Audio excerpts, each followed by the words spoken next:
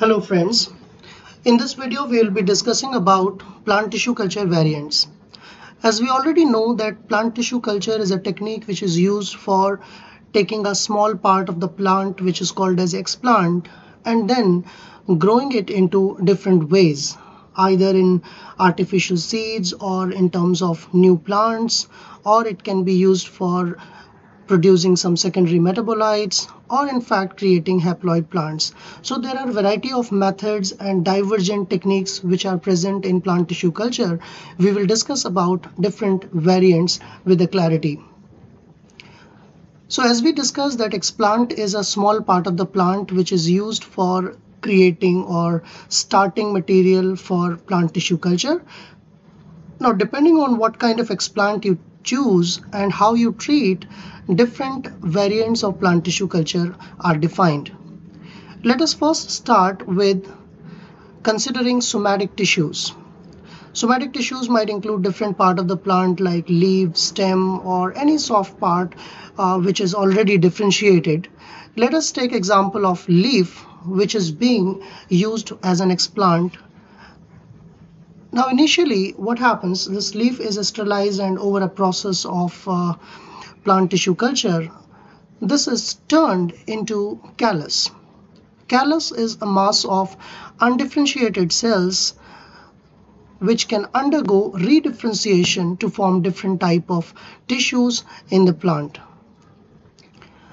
So when we change the media, when we induce this callus with different type of plant hormones like a definite proportion of auxin and cytokinin, we can induce roots, we can induce shoots, and then eventually we can develop this callus into new plants. This particular strategy of using somatic tissues and developing many plants out of it is defined as micropropagation. The name micropropagation has been given because you can choose small part of the plant and you can split that into small pieces and you can develop hundreds of plants from a small part or small explant. That's why it is known as micropropagation. In another strategy, instead of using somatic tissues, we can also use a specific type of tissue called meristem. So what we know about meristem, it is present in the apical parts, apical shoot or apical root, and it, it already has undifferentiated cells which can directly be cultured and converted into new plants. So we do not have a requirement of turning a somatic tissue into callus to make a new plant and therefore this strategy of plant tissue culture is defined as meristem culture. In yet another strategy, we can take the explant, probably again any somatic tissue, and then we can disintegrate that tissue into cells. This disintegration can be done with the help of enzymes or physical methods so that each of the cells are separated and then we create a suspension of cells. Now this suspension of the cells can then be utilized for production of secondary metabolites in artificial conditions. Uh, various plant metabolites such as taxol, quinine, and a lot of other metabolites which are pharmaceutically important are produced by this technique. So this technique is known as cell suspension culture. In yet another technology, the cell suspension can further be treated or the disintegrated tissues or cells can further be treated with some enzymes to remove the cell wall. As we know that plant cell wall is mostly made up of pectin, so we can use enzymes like pectinases to remove the cell wall and to soften the cells and a plant cell without cell wall is often named as protoplast. So this protoplast can also be treated in the similar way as cell suspension culture was done and this can be utilized for producing secondary metabolites. In fact, these things can be scaled up for large scale production and bioreactors may be used to generate large scale amount of secondary metabolites and also we can uh, use genetic engineering to manipulate both single cell suspension culture as well as protoplast culture to make desired product in the plant cell. If you are using protoplast, this technique is known as protoplast culture.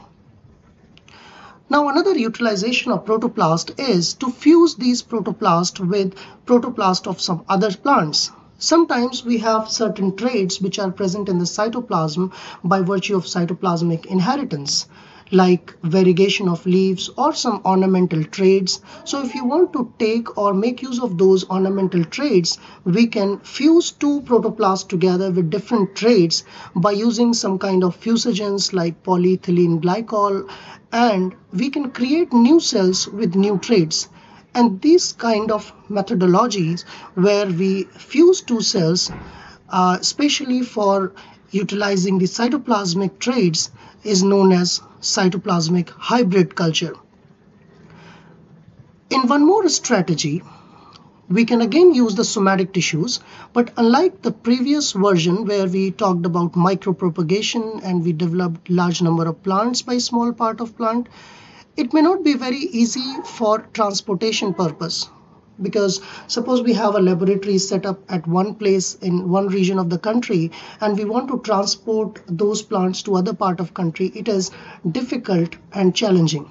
So rather than creating new plants we can take this explant and we can induce development of artificial seeds uh, by means of again controlling the hormonal balance. In general we can say high auxin ratio is required to induce artificial seeds or somatic embryogenesis in the explant, whereas in micropropagation, we require low amount of auxins. Now, this generation of artificial seeds, this mechanism is known as somatic embryogenesis and we can then take out these seeds and put it in the ground and we can sow them. So an advantage of creating these artificial seeds is that we can easily transport them, we can store them for the longer period of time. The idea behind developing these artificial seeds is based on encapsulation of these seeds into an inert matrix, which is generally prepared by using calcium chloride and sodium alginate solutions. So this whole capsid is created whole cover is created by alginate solutions and inside those alginate solutions are small embryoids which are seed-like structures. But there are subtle differences between um, natural embryoids or seeds and somatic embryoids. Yet they can completely develop into new plants. So this is another strategy which is called somatic embryogenesis. In last strategy we can make use of some parts of the plant like pollen or anther. Now, importance of this pollen and anther is that they are haploid parts. Until now, whatever we have discussed was all diploid culture. But sometimes we can use pollen grains and we can turn those pollen grains either into artificial seeds or we can also induce callus into these pollens. So advantage of this kind of culture is to create haploid culture. And this whole strategy is itself known as haploid culture technique. This is advantageous for creating pure breeds or pure lines. So these were all variants of plant tissue culture. Thank you very much.